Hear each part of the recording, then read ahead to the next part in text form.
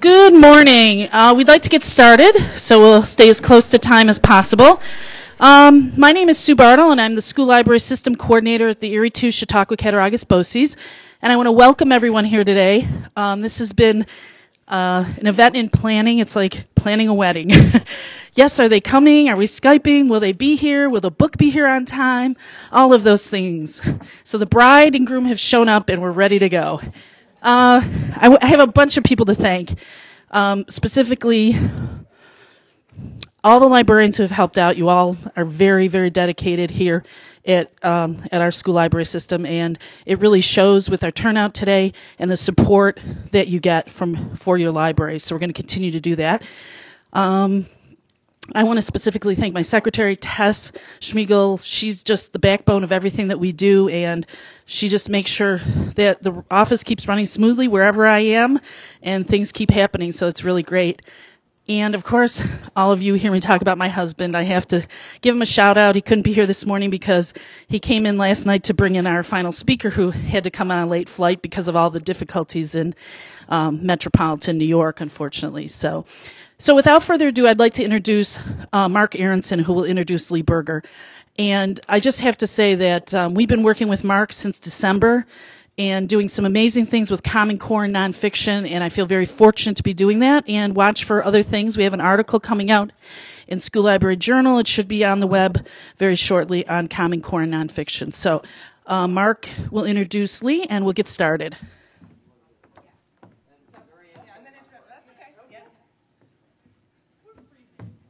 We're just starting out and I'm already interrupting. My name is Mary Ann Cappiello. I'm a professor in the Graduate School of Education at Lesley University in Cambridge, Massachusetts. And so I'm going to be working with you later today. But before Marc and Lee start telling you the story um, of Skull in the Rock and talk about both the research and, and the book itself, I want to get you started from a teaching perspective. So at each table, you have a set of blue vocabulary cards. Some tables might have two sets.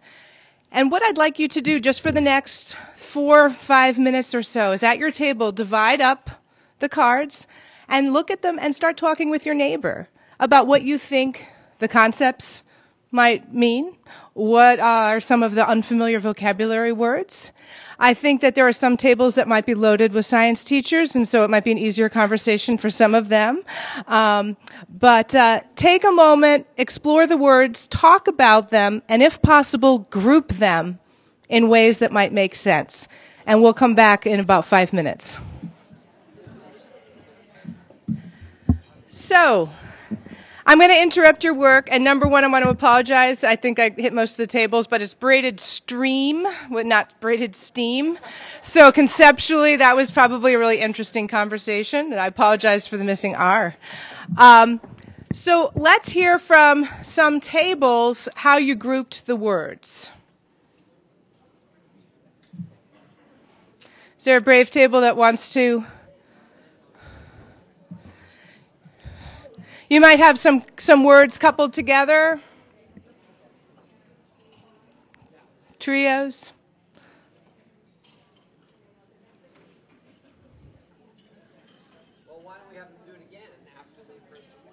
Yeah. Oh, we have a brave soul in a purple shirt. Thank you.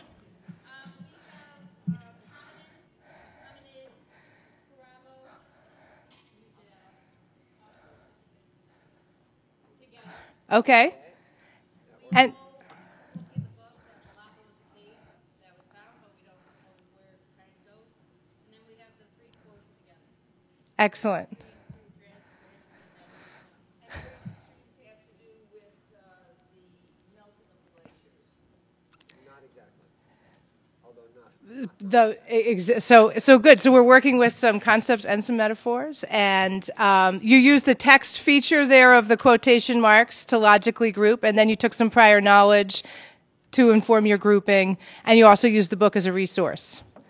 Yes. Okay, so they had what they knew together and what they didn't know together. Excellent. Well, this was to get your juices flowing, your brains thinking, and now we're going to turn the turn the program over to Marc and Lee, and we can come back to these words later in the day. Thanks. So, hi, I'm um, Marc Aronson, and um, I'm going to tell you a little about myself and how it led to the opportunity to work with Lee on this book. And then you'll get to meet Lee and go on quite an ad- adventure ride uh, of discovery and exploration. And then I'll come back and talk a little bit um, about how we tried to translate all of that into books that communicate uh, with you and with the young people you, you work with. Um, I do, though, have a rule for when I speak, and I'm going to modify it slightly because I can't uh, speak for Lee. But my rule is whenever I give a talk, you must interrupt. And the reason I say this, and I say this to everyone from when I go to school visits for preschoolers to we're all theoretically grown up here.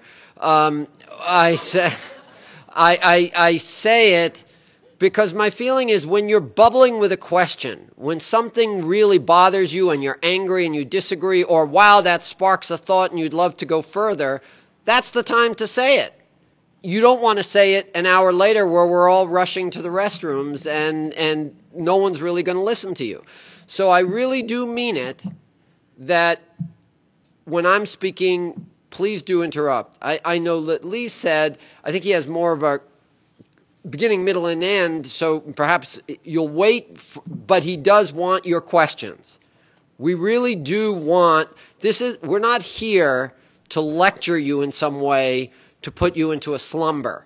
We're here to create ideas and dialogue and to, to, to work together to understanding. So really do feel free to raise your hand, to speak up, to ask questions, to take this as an opportunity to learn together, not just for us to preach.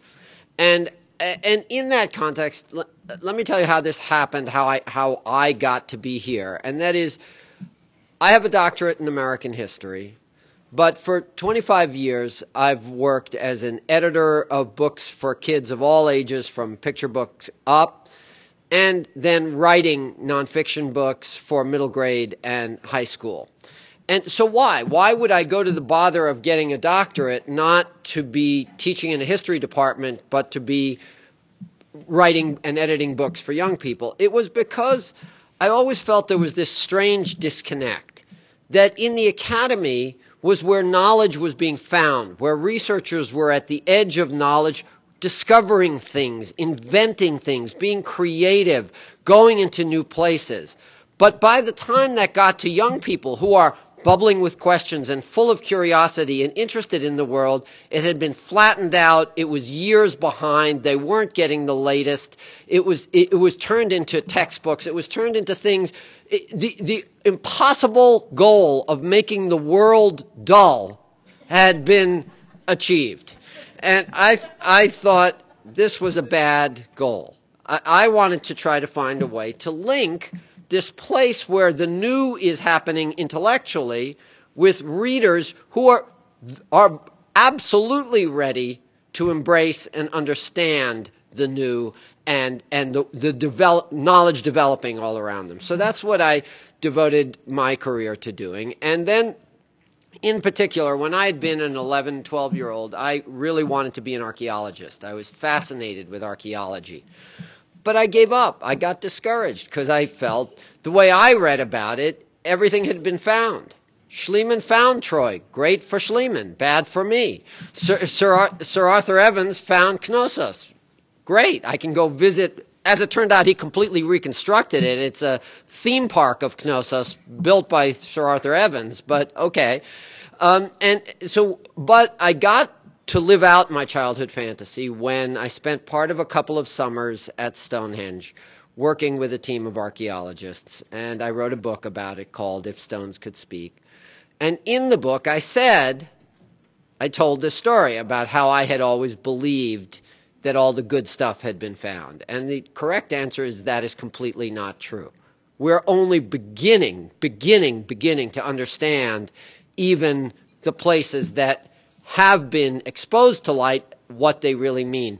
You know, you all know about carbon 14 dating. Carbon 14 dating was not really meaningful until the 90s, right? Is that it was recalibrated in the 90s. So if you were saying, you say, oh, we know when that was, it was carbon 14 dated. No, we had to really even understand that tool to really begin to apply it.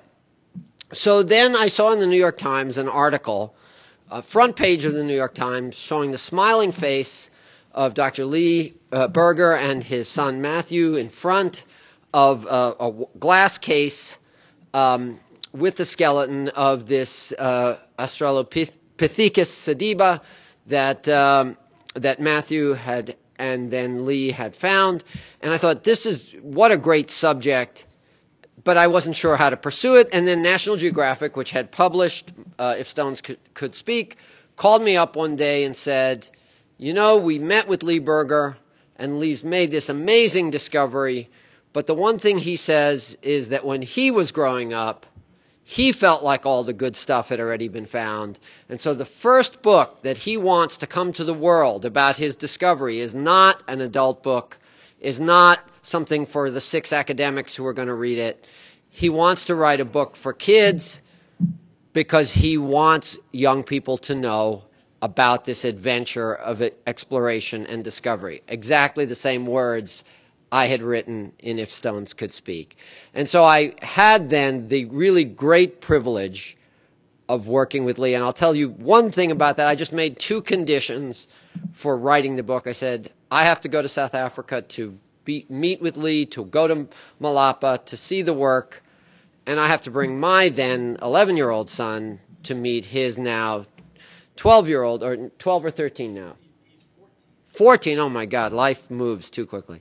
Um, um, so that they could talk to each other. And they, Nat Geo said yes, and out of that came uh, The Skull and the Rock. So that's the background of what brings us, us together. I think you guys are now really fortunate. You're going to hear from really the leading paleoanthropologist in the world. He was just honored in Washington at a group called the Academy of Achievement, where basically the top people in in their fields are go get to meet with the Supreme Court, go get to meet with Colin Powell, go get to meet with movers and shakers to create the future because they're recognized as the leaders who have that capacity. So that originally brought Lee to America now, and he's going to tell you about what led him and his son, or his son and him, and, and their dog Tau, to, to make this discovery and how, what it, how it might be important for you and the young people you work with to know about this, not just to add another name to their collection of names to know, but really to open windows of discovery to the whole world. So, Lee, come.